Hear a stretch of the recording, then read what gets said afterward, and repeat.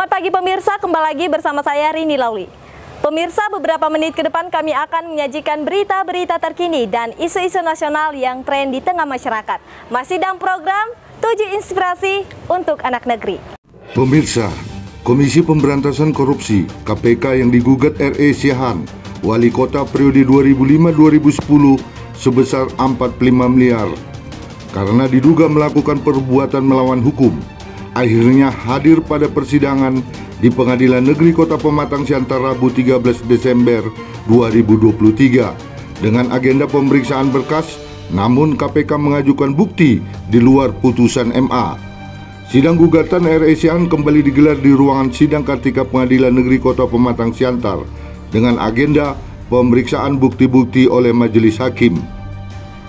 Selain RE Sian sebagai penggugat didampingi penasihat hukum, Daulat Siombing dan KPK sebagai tergugat satu.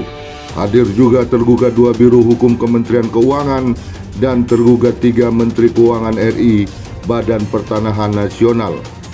Pada sidang itu, penggugat dan para tergugat masing-masing menyerahkan berkas berupa bukti-bukti kepada Majelis Hakim Ketua. Nasfi Firdaus didampingi hakim anggota Reni Pitua Ambarita dan Katrina Siagian. Seluruh berkas penggugat serta tergugat langsung diperiksa oleh ketiga majelis hakim. Kemudian diperlihatkan kepada masing-masing pihak dan dinyatakan lengkap.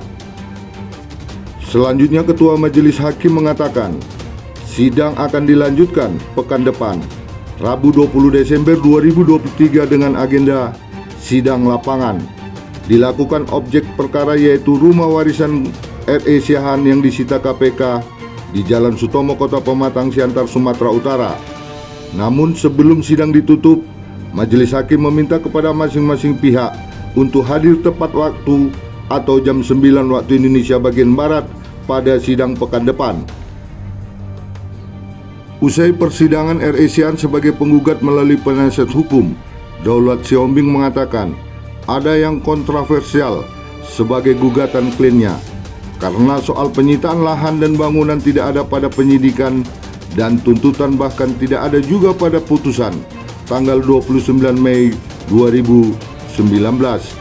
Tiba-tiba muncul surat penyitaan dari KPK dan berkas itu ikut disertakan KPK sebagai bukti pada persidangan.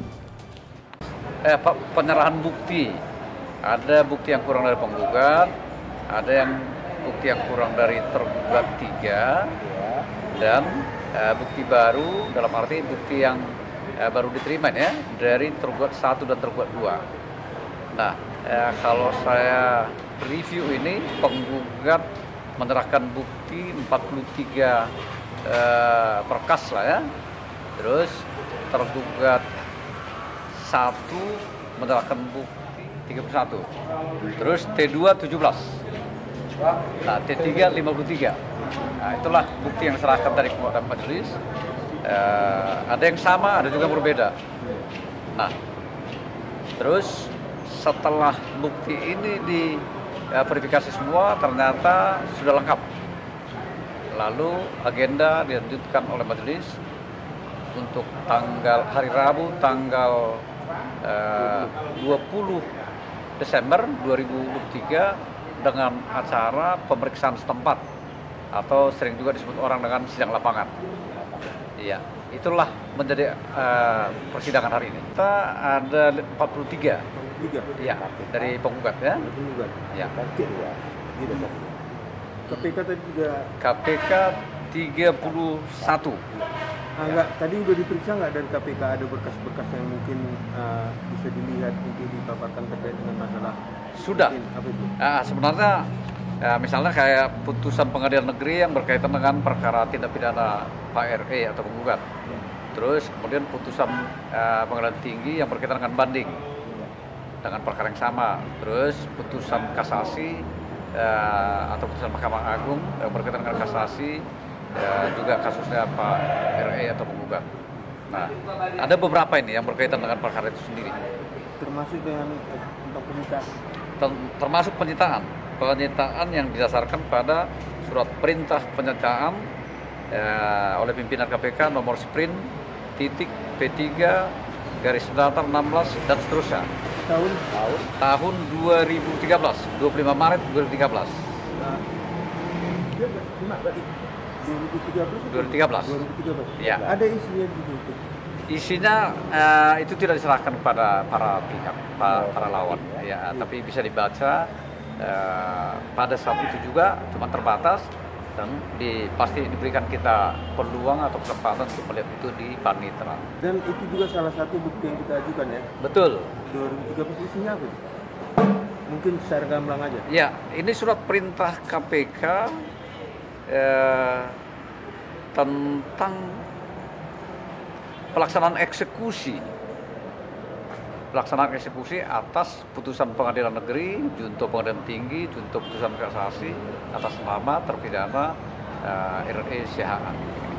Bukan terkait dengan penyitaan rumah ya? Belum, Belum ya? belum.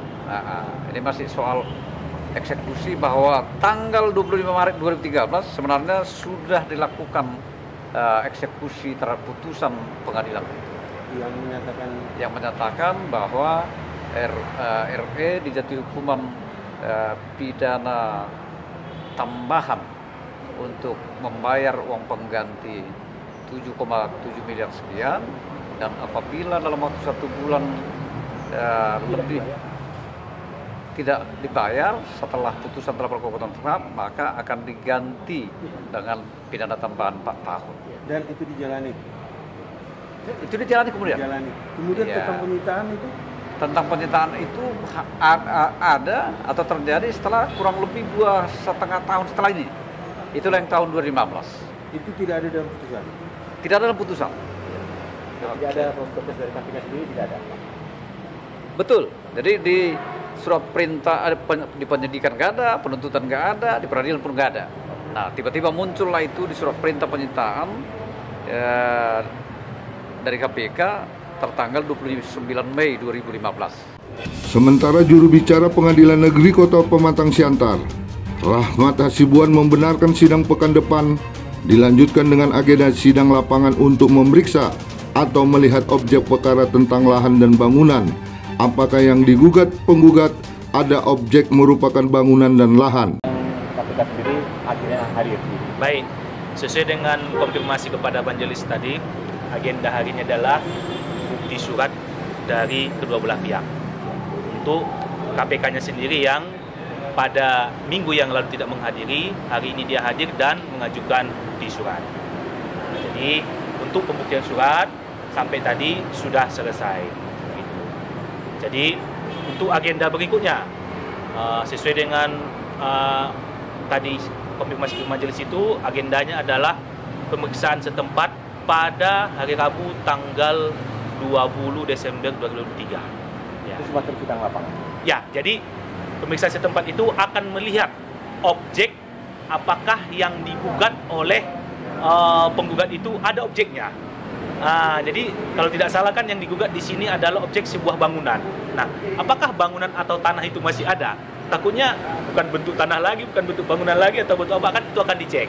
Gitu. Nanti akan ke lokasi langsung. Jadi namanya pemeriksaan setempat akan ke lapangan langsung ya. Nah, uh, KPK sendiri kemarin tidak hadir dan hari ini hadir itu menurut peraturan pengadilan tetap bisa dilakukan. Ya. Jadi eh, kemarin majelis tidak mau melakukan pemanggilan lagi, akan tetapi karena memang agendanya masih pembuktian surat dari kedua belah pihak dan kedatangan dari pihak KPK itu tidak melanggar hukum acara. Sepanjang acaranya memang masih pembuktian pembuktian surat, kecuali kalau agendanya sudah bukan pembuktian surat, dia mengajukan eh, pembuktian surat itu akan eh, melang apa namanya Menimpa. Ma- agenda agenda hukum acaranya itu sudah lompat begitu. Nah, itu nanti tergantung kebijakan daripada majelis hakim apakah memang masih bisa diterima atau tidak atau kesepakatan daripada kedua belah pihak. Tapi Gitu. ini kan masih tetap dalam tahapan. Masih karena agendanya masih pembuktian surat. Ah, kemarin kan penggugat juga masih ada agendanya yang pending. Ah, dan majelis masih memberikan kesempatan kepada tergugat yang lain juga kalau tidak salah pihak BPN ya, BPN untuk mengajukan bukti surat ah, yang belum dihadirkannya berikut juga dengan KPK-nya sendiri. Ya. Itu bang. Dan gimana tentang status tergugat empat itu bang? Oh, kalau status tergugat empat sejak kemarin eh, sebelum dilakukannya mediasi sudah ditinggalkan. Nah, berarti dia tidak menggunakan haknya. ah, apa pun nanti putusan yang akan dikeluarkan oleh majelis, dia harus tunduk begitu.